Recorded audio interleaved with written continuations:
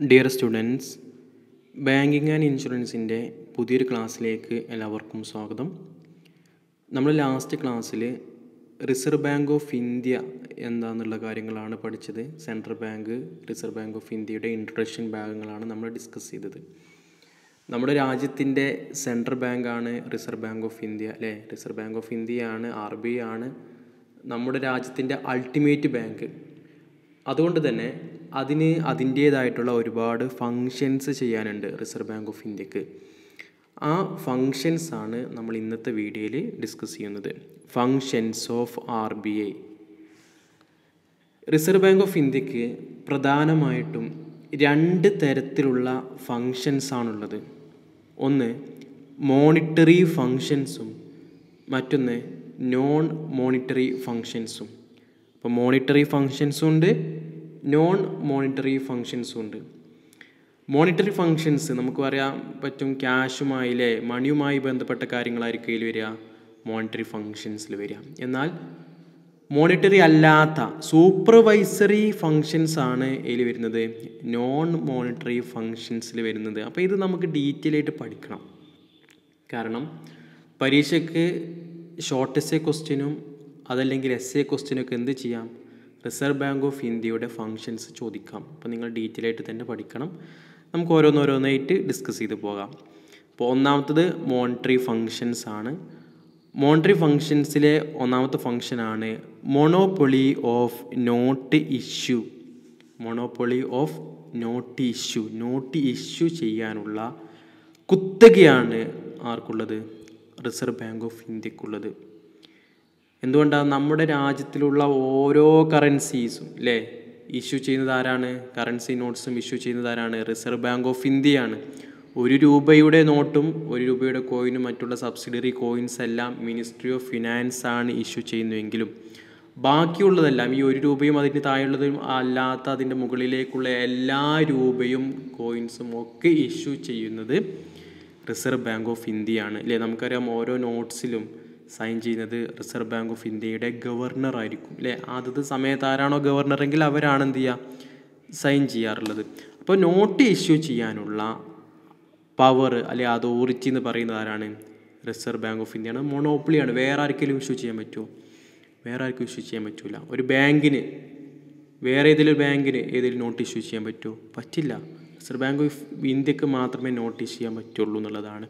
നോക്കോ section according to section twenty two of reserve bank of India act പറയുന്നുണ്ട് R B I has given the sole authority sole right to issue currency notes other than one rupee coins and notes and subsidiary coins in our country ഒരു രൂപയുടെ നോട്ടും ഒരു രൂപയുടെ കറൻസിയും അതോടൊപ്പം തന്നെ subsidiary കോയിൻസും അല്ലാത്ത മറ്റുള്ള എല്ലാ നോട്ടും ഇഷ്യൂ ചെയ്യാനുള്ള പവർ ആർക്കാണുള്ളത്? റിസർവ് ബാങ്ക് ഓഫ് ഇന്ത്യയുടെ സെക്ഷൻ ഇരുപത്തിരണ്ടിൽ ആർ ബി ഐക്ക് എന്ത് ചെയ്തിട്ടുണ്ട്? അതിനുള്ള അവകാശം കൊടുത്തിട്ടുണ്ട്. ആർ ബി ഐയുടെ നോട്ട് ഇഷ്യൂ ചെയ്യാനുള്ള അധികാരം ആർക്ക് മാത്രമേ ഉള്ളൂ? ആർ ബി ഐക്ക് മാത്രമേ ഉള്ളൂ എന്നുള്ളതാണ് നിങ്ങൾ അതിൽ എന്ത് ചെയ്യേണ്ടത്? മനസ്സിലാക്കേണ്ടത്. സെക്ഷൻ ട്വന്റി ടുവിൽ പ്രത്യേകം പറയുന്നുണ്ട്.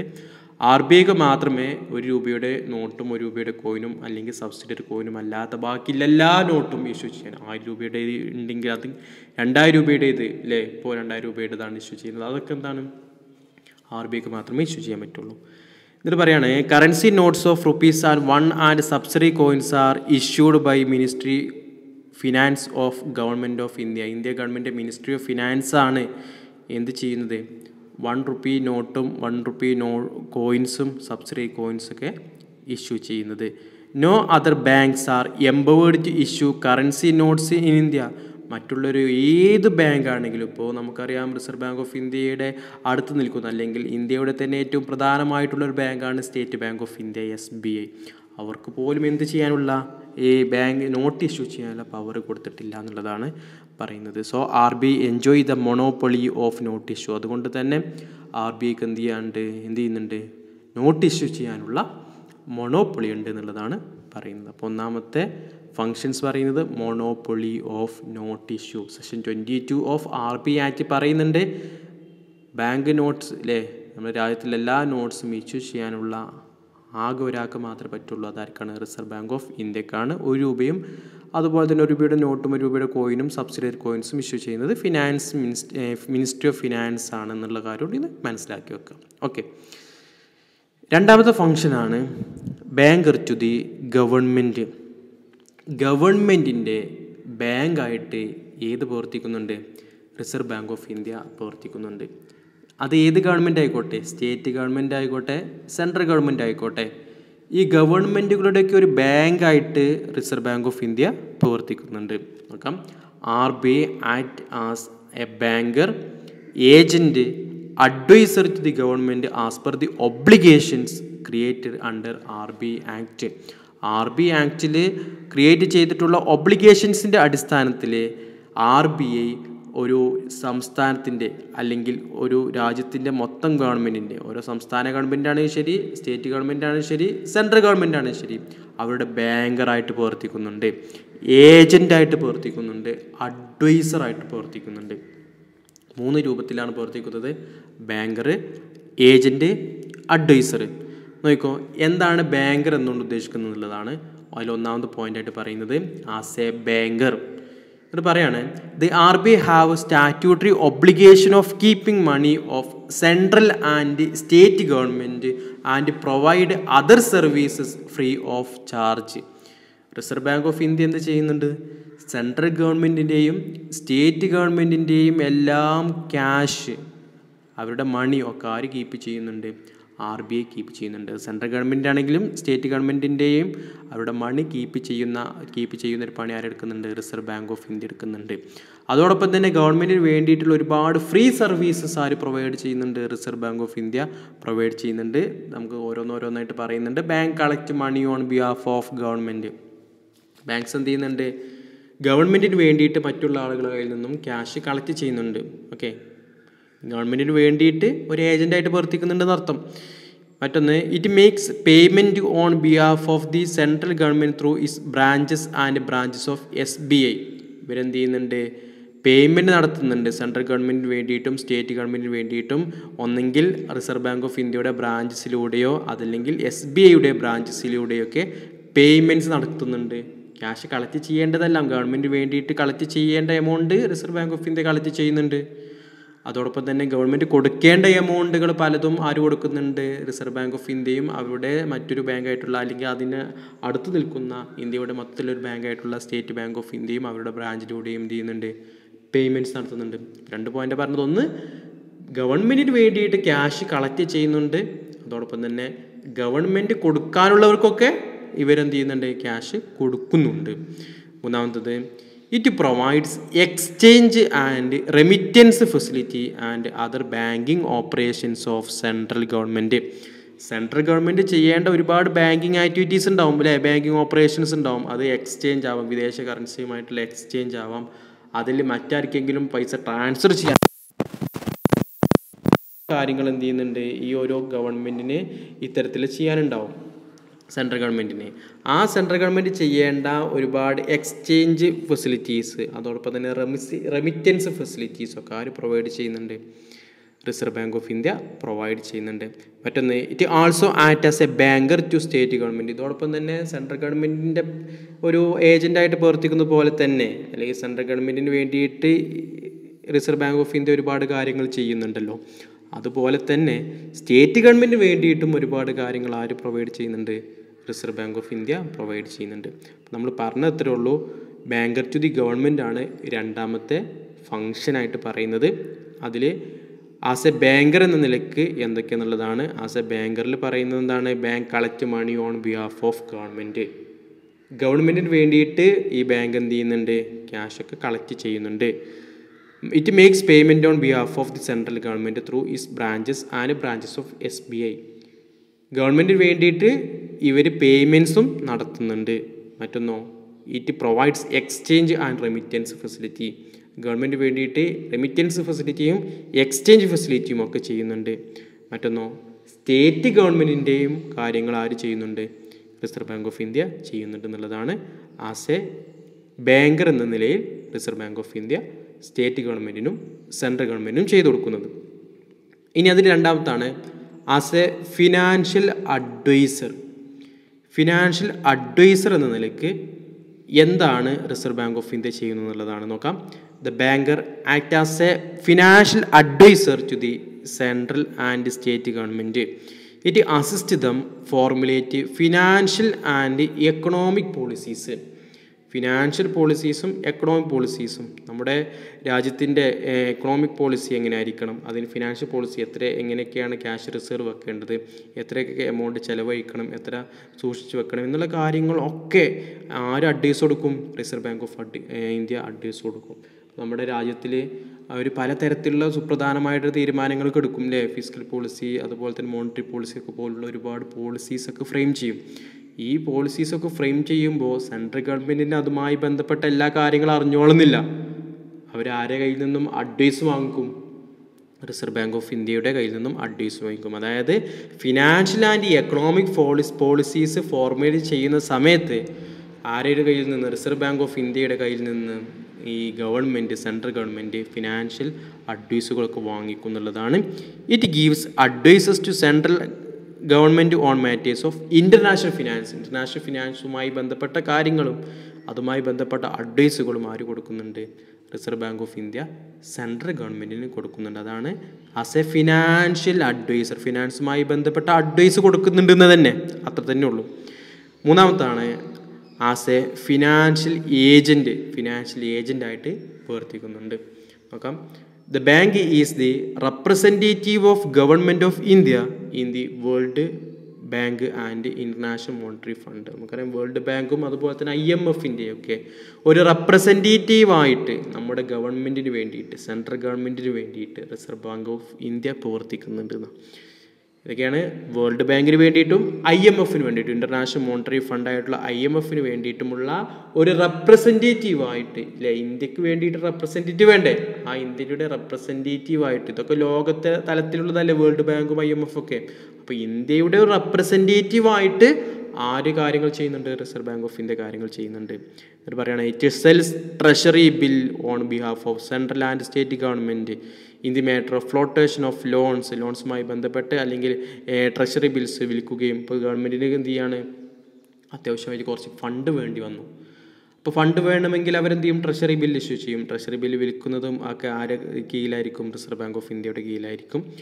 It manages public debts of the central and state government central ഗവൺമെന്റെയും state ഗവൺമെന്റെയും പബ്ലിക് ഡെപ്സ് ഒക്കെ എന്ത് ചെയ്യും? ഇവർ മാനേജ് ചെയ്യുന്നുണ്ടെന്നുള്ളതാണ് ഫിനാൻഷ്യൽ ഏജന്റ് എന്ന് പറയുന്നത്. ഫിനാൻസ് അഡ്വൈസ് കൊടുക്കുകയാണെങ്കിൽ അഡ്വൈസ് എന്നാൽ ഇവരുടെ ഏജന്റായിട്ട് സെൻട്രൽ ഗവൺമെന്റിന്റെ ഒരു ഏജന്റായിട്ടാണ് റിസർവ് ബാങ്ക് ഓഫ് ഇന്ത്യ പ്രവർത്തിക്കുന്നതെങ്കിൽ അത് കാര്യങ്ങളാണ് ഇതിൽ വരുന്നത്. ആസ് എ ഫിനാൻഷ്യൽ ഏജന്റ് അത് പ്രധാനമായിട്ടും പഠിക്കേണ്ടത് വേൾഡ് ബാങ്കിനും ഐ എം എഫിന്റെയും റെപ്രസെന്റേറ്റീവായിട്ട് റിസർവ് ബാങ്ക് ഓഫ് ഇന്ത്യ എന്ത് ചെയ്യുന്നുണ്ട്? പ്രവർത്തിക്കുന്നുണ്ട് എന്നുള്ളത് തന്നെയാണ്. ഓക്കെ.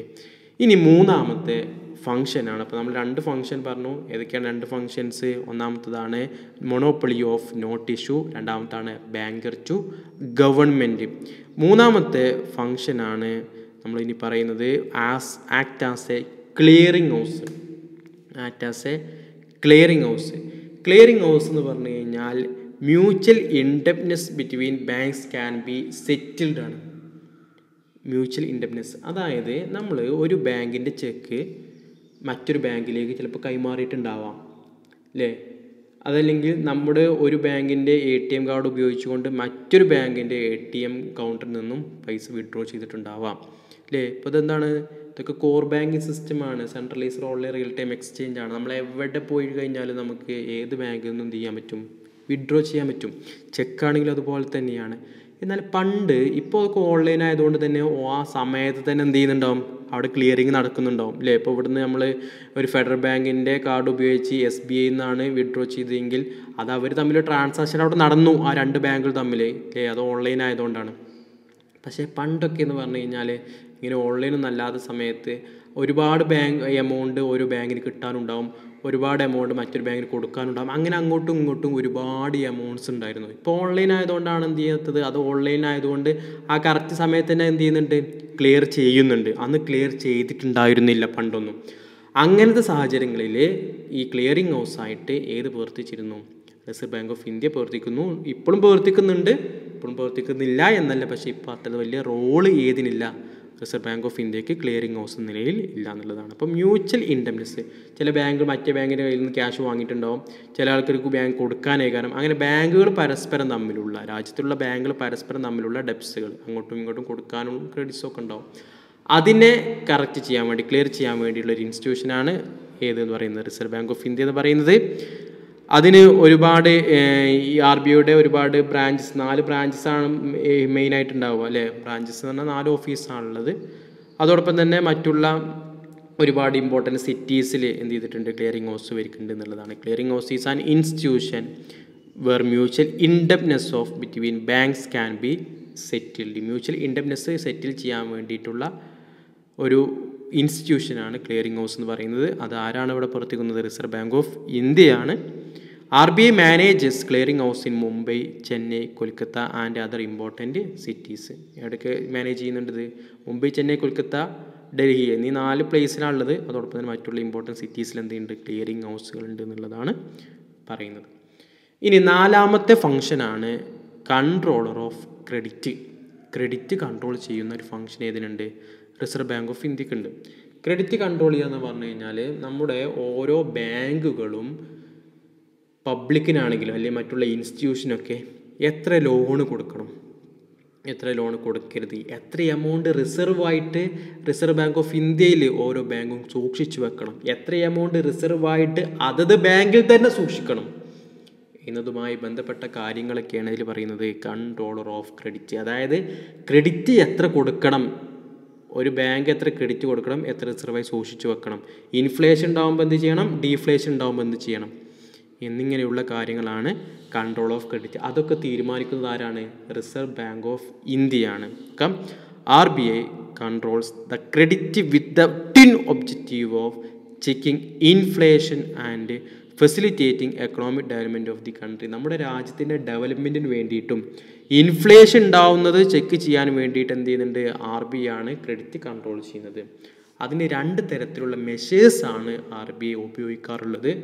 ക്വാണ്ടിറ്റേറ്റീവ് ക്രെഡിറ്റ് കൺട്രോൾ വെപ്പൺസും ഉണ്ട്. അതുപോലെ തന്നെ ക്വാളിറ്റേറ്റീവ് ക്രെഡിറ്റ് കൺട്രോൾ വെപ്പൺസും ഉണ്ട്. അത് നമുക്ക് ഡീറ്റെയിൽ ആയിട്ട് പഠിക്കണം. അത് മാത്രം എന്ത് ചെയ്യാം? പരീക്ഷയ്ക്ക് ചോദിക്കാറുണ്ട്. ഓക്കെ അപ്പോൾ അത് നമ്മൾ ഡീറ്റെയിൽ ആയിട്ട് പഠിക്കുന്നുണ്ട്. ഇപ്പോൾ നിങ്ങളിവിടെ ജസ്റ്റ് കൺട്രോളർ ഓഫ് ക്രെഡിറ്റ് എന്നുള്ളത് മാത്രം മനസ്സിലാക്കുക. ഇനി കൺട്രോളർ ഓഫ് ക്രെഡിറ്റിൽ തന്നെയാണ് ഞാൻ ഈ പറഞ്ഞ ക്വാളിറ്റേറ്റീവ് ക്രെഡിറ്റ് കൺട്രോൾ മെത്ത് വെപ്പൻസും അതുപോലെ തന്നെ ക്വാളിറ്റേറ്റീവ് ക്രെഡിറ്റ് അതിൽ ഒരു ഒന്നിലും ഒരു നാല് പോയിന്റ് മറ്റില്ല അഞ്ചെട്ട് പോയിന്റ് പഠിക്കാനുണ്ട്. അത് നമുക്ക് ഡീറ്റെയിൽ ആയിട്ട് പഠിക്കാം. അപ്പോൾ ഇനി നിങ്ങൾ എക്സേ ക്വസ്റ്റ്യൻ ആണ് functions of Reserve Bank of India ചോദിച്ചാൽ കൺട്രോളർ ഓഫ് ക്രെഡിറ്റിൽ നിങ്ങൾ ആ കാര്യങ്ങളിലൂ ആ കാര്യങ്ങളോട് എന്ത് ചെയ്യണം? എഴുതണം. ക്വാളിറ്റേറ്റീവ് ക്രെഡിറ്റ് കൺട്രോൾ വെപ്പൻസും ക്വാളിറ്റേറ്റീവ് ക്രെഡിറ്റ് കൺട്രോൾ വെപ്പൻസും കൂടി നിങ്ങൾ എഴുതണം. അത് നമ്മൾ ഇതിന് കഴിഞ്ഞിട്ട് നമ്മൾ അടുത്ത വീഡിയോയിൽ ആണ് ഡിസ്കസ് ചെയ്യാം. ഓക്കെ അപ്പം അഞ്ചാമത്തെ ഫങ്ഷൻസ് ആണ് lender of last resort and banker's bank ബാങ്കുകളുടെ എല്ലാം ബാങ്കാണ് ഏത്? റിസർവ് ബാങ്ക് ഓഫ് ഇന്ത്യ അല്ലേ? നമ്മുടെ റിസർവ് ബാങ്ക് ഓഫ് ഇന്ത്യ ആണുള്ള ഏറ്റവും അപ്പെക്സ് അതോറിറ്റി അതിന് കീഴിലാണ് ബാക്കിയുള്ള എല്ലാ ബാങ്കുകളും വരുന്നത്. അതുകൊണ്ട് തന്നെ ഓരോ ബാങ്ക്സും അവരുടെ ഒരു ബാങ്കായിട്ടാണ് ഓരോ ബാങ്കും അവരുടെ ഒരു ബാങ്കായിട്ടാണ് ഏതിനെ കാണുന്നത്? റിസർവ് ബാങ്ക് ഓഫ് ഇന്ത്യയെ കാണുന്നത്. അതോടൊപ്പം തന്നെ ലെൻഡർ ഓഫ് ലാസ്റ്റ് റിസോർട്ടാണ് അതായത് ബാങ്കുകൾക്ക് അവർക്ക് ഫണ്ട് വേണമെങ്കിൽ എന്ത് ചെയ്യാം? മറ്റുള്ള ബാങ്കിൽ നിന്ന് ലോൺ എടുക്കാം അല്ലേ? അങ്ങനെ ഇപ്പോൾ ഒരുപാട് കാര്യങ്ങൾ ചെയ്യാൻ പറ്റും. എന്നാൽ അവസാനം ലോൺ എടുക്കാൻ പറ്റുന്ന സംഗതിയാണ് റിസർവ് ബാങ്ക് ഓഫ് ഇന്ത്യ പിന്നെ അതിന്റെ അപ്പുറത്തേക്കൊരു ചാൻസ് ഏതിനില്ല. ഒരു ബാങ്കിന് ലോൺ എടുക്കാനുള്ള അവസരമില്ലല്ലോ. അപ്പോൾ എസ് ബി ഐക്ക് ലോൺ വേണമെന്നുണ്ടെങ്കിൽ അത് വേറെ ഏതെങ്കിലും ബാങ്കിൽ നിന്ന് എന്ത് ചെയ്യാൻ പറ്റും? ലോൺ എടുക്കാൻ പറ്റും. എന്നിട്ടോ? പിന്നെ റിസർവ് ബാങ്ക് ഓഫ് ഇന്ത്യയിൽ നിന്ന് ലോൺ എടുക്കാൻ പറ്റും. വേറെ എന്തെങ്കിലും പറ്റുമോ? ഇല്ല. അതിന്റെ മുകൾക്ക് പിന്നെയാണൊന്നുമില്ല. ലാസ്റ്റ് അപ്പെക്സ് അതോറിറ്റി അല്ലേ റിസർവ് ബാങ്ക് ഓഫ് ഇന്ത്യ അതുകൊണ്ടാണ് ലെൻഡർ ഓഫ് ലാസ്റ്റ് റിസോർട്ട് എന്ന് പറയുന്നത്. അതോടൊപ്പം തന്നെ ബാങ്കേഴ്സ് ബാങ്കാണ് R B I provide loan to commercial banks and rediscounts bill to solve liquidity problems when no one else is willing to extend credit അതായത് ബാങ്ക്സിനൊക്കെ loan വേണമെങ്കിൽ മറ്റുള്ള സ്ഥാ- സ്ഥാപനങ്ങൾ ലോണൊന്നും കൊടുക്കുന്നില്ല. എങ്കിൽ ആര് കൊടുക്കും? റിസർവ് ബാങ്ക് ഓഫ് ഇന്ത്യ ബാങ്കിന് ലോണ് കൊടുക്കും. അതോടൊപ്പം തന്നെ ബില്ല് റീഡിസ്കൗണ്ട് ചെയ്യും. ഡിസ്കൗണ്ട് ചെയ്യാൻ നമ്മൾ പഠിച്ചതാണ് ബില്ല് ഓഫ് ഡിസ് എക്സ്ചേഞ്ചിൽ വരുന്നതാണ്. നമ്മളൊരു ബില്ല് ഒരാൾക്ക് ഇഷ്യൂ ചെയ്ത് കഴിഞ്ഞാൽ അത് ഒരു ലക്ഷം രൂപയുടെ ബില്ലാണെങ്കിൽ എൺപതിനായിരം രൂപ വാങ്ങിയിട്ട് ബാക്കി ഇരുപതിനായിരം രൂപ ബാങ്കിന് കിട്ടുന്ന വിധത്തിൽ നമ്മൾ പഠിച്ചതാണ്. ഇതിനു മുമ്പ് ഡിസ്കസ് ചെയ്തിട്ടുള്ള കാര്യമാണ് ഡിസ്കൗണ്ടിങ്. അങ്ങനെയുള്ള കാര്യങ്ങളും ഒക്കെ ആര് ചെയ്യുന്നുണ്ട്. റിസർവ് ബാങ്ക് ഓഫ് ഇന്ത്യ ചെയ്യുന്നുണ്ട്. ഇപ്പോൾ ലെൻഡർ ഓഫ് ലാൻസ് റിസോർട്ട് ആൻഡ് ഈസ് ബാങ്ക്. ബാങ്കിലൂടെ ബാങ്കാണ് അതോടൊപ്പം തന്നെ ലെൻഡർ ഓഫ് ലാസ്റ്റ് റിസോർട്ടുമാണ് ഇത് റിസർവ് ബാങ്ക് ഓഫ് ഇന്ത്യ അപ്പോൾ അഞ്ച് ഫങ്ഷൻസ് ആണ്. മോണിറ്ററി ഫങ്ഷൻസ് ആണ് റിസർവ് ബാങ്ക് ഓഫ് ഇന്ത്യക്കുള്ളത് അഞ്ച് മോണിറ്ററി ഫങ്ഷൻസ് അതിൽ ഒന്നാമത്താണ് മൊണോപ്പൊളി ഓഫ് നോട്ട് ഇഷ്യൂ രണ്ടാമത്താണ് banker to government മൂന്നാമത്താണ് act as a clearing house നാലാമത്താണ് controller of credit അഞ്ചാമത്താണ് lender of last resort okay ബാക്കിയുള്ള കാര്യങ്ങൾ നമുക്ക് അടുത്ത വീഡിയോ ഡിസ്കസ് ചെയ്യാം. അടുത്ത വീഡിയോ നമ്മൾ ഡിസ്കസ് ചെയ്യാം. കൺട്രോളർ ഓഫ് ക്രെഡിറ്റിലുള്ള ക്വാളിറ്റേറ്റീവ് ക്രെഡിറ്റ് കൺട്രോൾ വെപ്പൺസും ഉണ്ട്. ക്വാണ്ടിറ്റേറ്റീവ് ക്രെഡിറ്റ് കൺട്രോൾ വെപ്പൺസും ഉണ്ട്. അതാണ് നമ്മൾ ആദ്യം ഡിസ്കസ് ചെയ്യുക എന്നിട്ടാണ് നോൺ മോണിറ്ററി ഫങ്ഷൻസ് അഥവാ സൂപ്പർവൈസറി ഫങ്ഷൻസ് ഡിസ്കസ് ചെയ്യുക ഓക്കെ അടുത്ത വീഡിയോ കാണാം. അതുവരേക്കും താങ്ക്